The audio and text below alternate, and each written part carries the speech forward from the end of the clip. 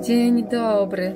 Dzisiaj na prośbę mojej przyjaciółki Asi pokażę, jaki koktajl piję codziennie rano. Dokładnie zapytała mnie o to, jakie to ja mikstury piję codziennie rano, że się wzmacniam tak bardzo. Znaczy, no nie wiem czy bardzo, ale czuję się wzmocniona. No dość mocno.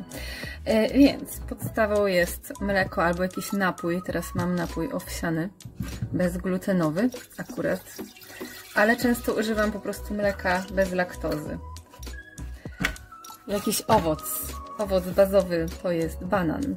Nie lubię takich zielonych bananów, bo one są niedojrzałe. Wolę jak są nawet takie trochę poczerniałe. Są słodsze i zdrowsze podobno. I jest amla. Amla...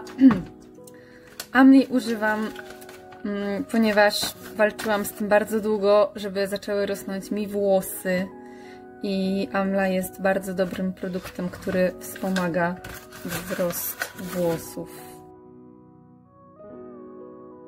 Ashwagandha ostatnio jest bardzo modna.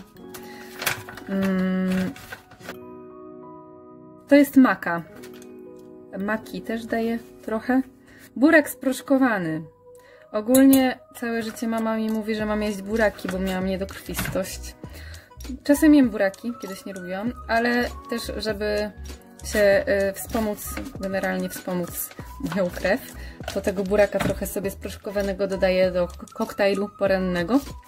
Jest wbrew, wbrew pozorom, może niektórzy myślą, że jest niedobry, ale nie jest dobry, jest słodki, osładza mi tą moją miksturę.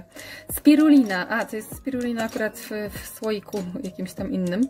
Daje jej bardzo mało, tyle, bo ona ma bardzo intensywny zapach i smak i nie można jej dać nawet moim zdaniem pół tej małej łyżeczki. I to no, na razie tyle. A, miałam też jagody akai albo jagody acerola, ale teraz ich nie mam, więc to co mam to miksuję.